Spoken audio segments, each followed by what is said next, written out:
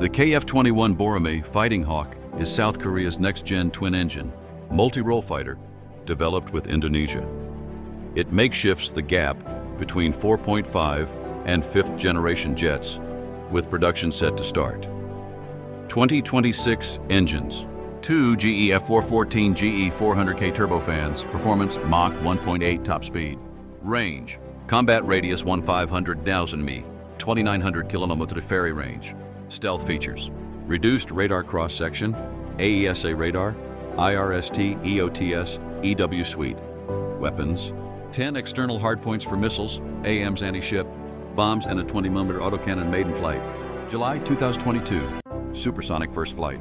John 2023, 1,000 plus accident-free sortie by NOVE 2024.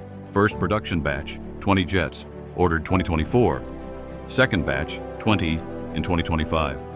Service entry begins in late 2026. The KF-21 Boramae is South Korea's homegrown answer to advanced air threats.